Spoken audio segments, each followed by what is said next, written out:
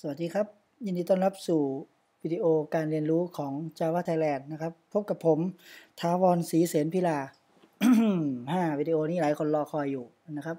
เป็นเรื่องการ install หรือเรียกว่า setup พูดง่ายๆคือติดตั้งนั่นแหละ เอาให้มันง่าย ๆ หน่อยนะครับ ผมพยายามใช้ภาษาอังกฤษไม่ใช่อะไรหรอกอออยากจะให้โปรแกรมเมอร์ได้เรียนรู้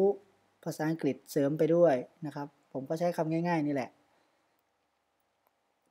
เริ่มต้นผมจะพาติดตั้ง project ก่อน เชื่อว่าหลายคนโหลดมาแล้วนะครับ Yii เนี่ย เพราะว่าตอนนี้เป็นเวิร์กช็อปแสดงว่าผู้เรียนต้องมีพื้นฐานละ เพราะฉะนั้นผมไปเอาตัวดาวน์โหลดมาเลยนะครับ Yii อยู่ไหนเปล่าเหมือนจะไม่มี เหมือนจะไม่มีจริงๆแฮะนั้นผมโหลด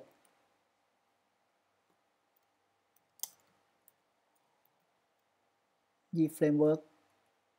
com ดาวน์โหลดเวอร์ชัน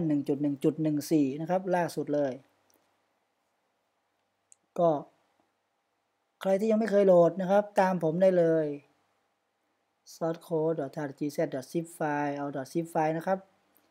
ปั๊บ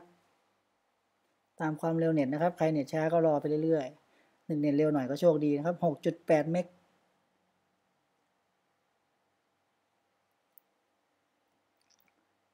อ่าระหว่างนี้เราก็ครับ ดูโน่นดูนี่เล่นๆไปนะครับ ดูรูปสาวหรือจะแชท Facebook รอก็ได้ ครับใครก็ใครถนัดแชท Facebook เล่นก็แชทเล่นรอนะครับ หรือใครจะเล่นอะไรก็ทำไป ระหว่างนี้ นิดเดียวนิดเดียวจะเสร็จแล้ว 6.3 6.4 6.5 6.6 6.7 6.8 เรียบร้อย show in Finder ไม่ว่าจะ Windows หรือ Mac หรือ Linux ตามผมได้เลยนะครับ เป๊ะ แตกไฟล์ก่อนนะครับ แตกไฟล์ไม่เป็นก็เข้า Google นะครับ Copy ไปหมดนี่แหละ แล้วไปที่ web server ของเราของผมก็คือ memhtdoc ผมพาสลงไป ตัวนี้นะครับ ผมก็รีเนม เป็น CRM เอ้ผมเหมือนจะมีชื่อนี้อยู่แล้ว ไปดูซิเพราะโปรเจกต์ผมจะชิบหายนะครับ CRM ผมมีแล้ว ผมเอาชื่อใหม่ เว็บ CRM ตามผมก็ได้นะครับ เวลารันจะได้เหมือนกันเป๊ะๆ เว็บ CRM เอ๊ะ ผมก๊อปอะไรผิดหรือเปล่า อืม อืม ก็ไม่ผิดนี่นะครับอะเว็บ CRM คราวนี้วิธีติดตั้งนะครับ เราไปที่ Command Line พูดง่ายๆ ก็คือ DOS นั่นแหละนะครับ บนระบบ Windows บน Mac ก็คือ Terminal บน Linux ก็คือ Terminal เหมือนกัน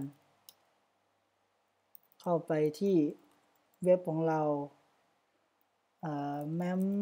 st docs web crm เข้ามาแล้วเรียบร้อย วิธีการติดตั้งนะครับ ดูดีๆ ดูดีๆ PHP Work Framework หลายคนติดตั้งเป็นแล้วนะครับ ใครที่ทำไม่เป็นแนะนำดูที่เล่ม G Basic ถ้าคำสั่ง PHP มันไม่มีให้ มันจะบอกว่าไม่รู้จักนะครับ ก็ให้ทำการเซตผ่านนะครับทำการเซตผ่านจดไว้นะครับ ถ้ามันไม่มีคำสั่งนี้เซตผ่านก่อนถึงจะพิมพ์คำสั่งนี้ได้สำหรับ Windows นะครับ วิธีการเซตผ่านทำยังไงก็ Google เลยนะครับ แนะนำว่าไปลุยที่ Google อะ เรามาลุยต่อ Framework เอ่อ YC